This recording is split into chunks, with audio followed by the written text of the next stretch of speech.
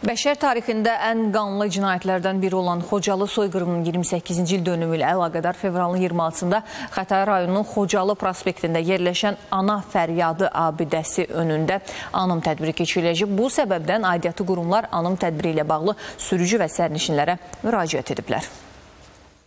Xocalı soyqırımının 28-ci il dönümü ilə əlaqədar keçirilməsi nəzərdə tutulan tədbirdə təhlükəsizliyin təmin edilməsi məqsədi ilə Bəzi yollarda hərəkət istiqaməti dəyişdiriləcək. Bakı şəhər Baş Polis İdarəsinin Dövlət Yol Polisi İdarəsindən bildirilir ki, sabah səhər saatlarından paytaxtın Xətai rayonu Xocalı prospekti Ana Fəryadı abidə kompleksi istiqaməti üzrə kəsişən, bitişən paralel bütün küçə və prospektlərdən avtomobillərin hərəkətinə məhdudiyyət qoyulacaq. Paytaxtın Nəcəf qolu Rəfiyə küçəsi ilə Xocalı prospekti kəsişməsindən avtomobillərin hərəkəti yalnız düzünə Nobel prospekti istiqamətində müəyyənləşdirilib.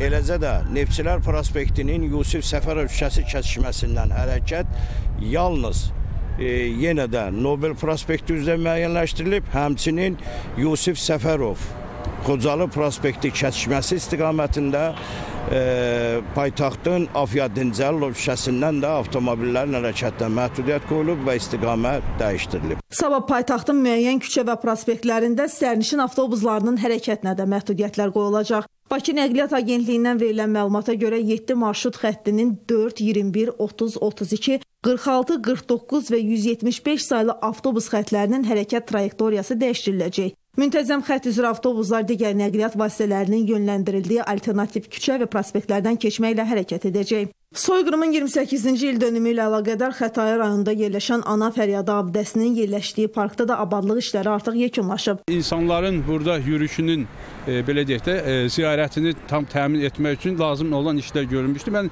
e, onu da qeyd edeyim ki, yəni həm Xocalı prospektində, həm Park Xiyabanda, həm də bura gələn yollarda təxminən 100 mindən artıq e, e, deməli mövsümi güllər əkilmişdi.